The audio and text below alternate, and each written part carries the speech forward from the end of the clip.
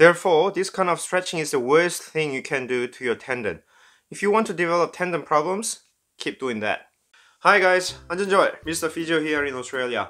Today I'm going to talk about gluteal tendinopathy. And according to studies, this problem affects 25% of women at some point of their life. And not surprisingly, it affects female three times more than male. So even if you don't have any problem at the moment, there's a 25% of chance you would have this symptom at some point of your life if you're a woman, unfortunately.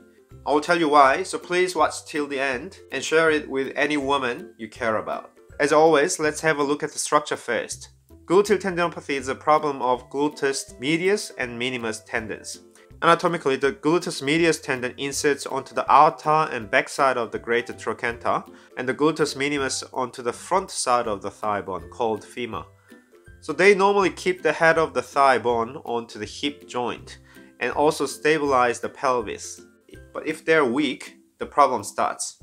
I've been telling you in all my tendon videos that most tendon problems occur around the bony area. This study also supports my statement by saying if these muscles are weak, it can cause compression of these tendons against the bone. So the pain can be reproduced with passive elongation, passive stretch of these involved tendons. So when you stretch out these muscles, there will be compression against the bone and stretching the tendon at the same time.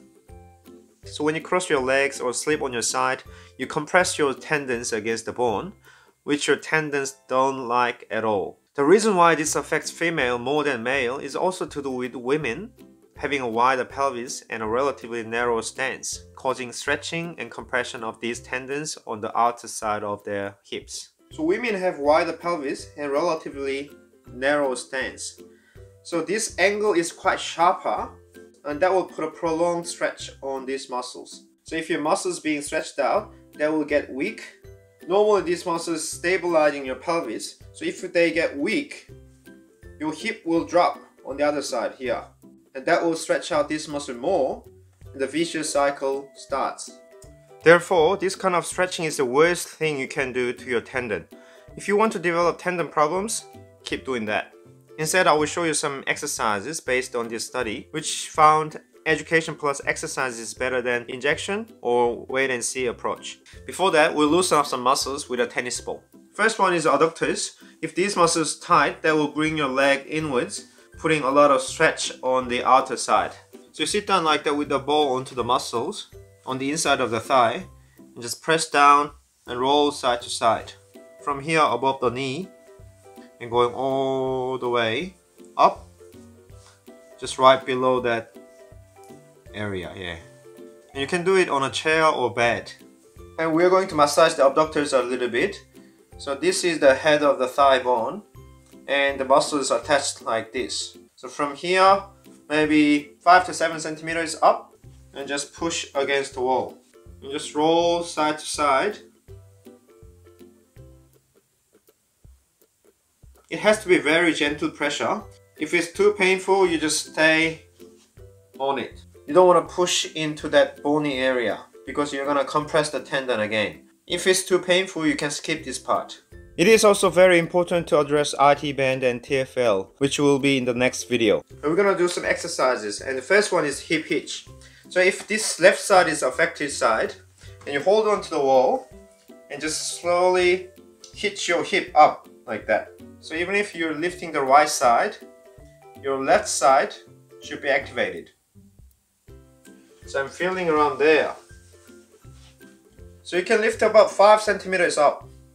You can start with 5 seconds, 10 seconds, and build up to 45 seconds, 5 times a day. Once you can do that, hitch up and just toe tap.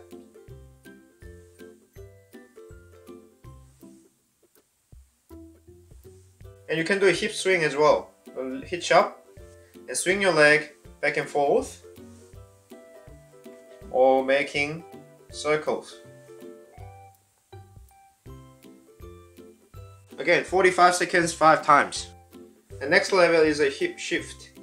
So have your legs about hip width apart, or more than that, a little bit more, and toes a little bit pointing out. So it's not facing forward, a little bit out to the side like that, and try to push out So I'm doing this against the ground. And squeeze your buttock push your legs apart against the ground. And you should feel side hip activation. From there, you're going to shift your hip side to side. So this way and that way. I'm doing this at the moment, okay? And that way as well. Basically, you stand nice and tall with your knees straight and push your legs apart and activate that muscle and you're going to move your hip side to side. And squeeze your hip as well, like that. Or you can rotate your body while pushing your legs out to the side.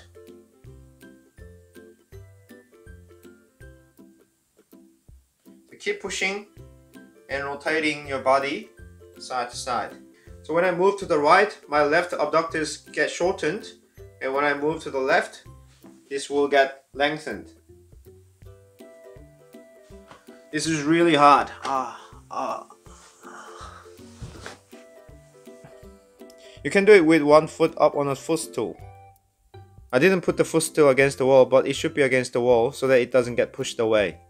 The most advanced exercise for gluteal tendinopathy is single leg wall squat, which I showed you in another video, so I will put a link below. Also, you need to work on quadriceps eccentric control. According to many studies, lack of quadriceps eccentric control is a contributing factor for gluteal tendinopathy. So when you walk, as you hit the ground, your knee is slightly bent. At that short moment, your quadriceps has to stop your knee from going too far forward like this. Otherwise, your knee goes forward and inwards. That will put a stress on your hip. Now check yourself. A lot of people bring their knee inwards when they go upstairs and going downstairs as well. So this kind of small faulty movement can put a lot of stress on the hip and knee, ankle as well. So that ability to prevent your knee going forward and inwards has to be improved. So we'll start with like partial squats. Have your legs wider than your pelvis and just push your legs apart as we did just now. So I'm doing that action. So my knee is a little bit out to the side and just squat down. Maybe up to there and come back up. So your muscles being lengthened while controlling your knee. And once you can do that, you can actually Go all the way down and sit down on a chair. And stand up and knees out. Going down in about 3 seconds. When you do that, you should bring your hip all the way back so that you can keep your knees behind the toe lines. So you shouldn't bring your knees in like that, alright? So you should bring your bum all the way back. So it should be nice and controlled at the end rather than doing this. After that, you need to combine those muscle activation in one action to improve the connection between those muscles. After that, you can do this kind of exercise on a step. Going down, up, and touch the ground, and up. The most important thing is try to keep your knee a bit out to the side. So you shouldn't go in like that. That will put a lot of stretch on the hip. So going down and come back up. You can actually start with toe touching and going down like that. And this is probably one of the most advanced exercises for gluteal tendinopathy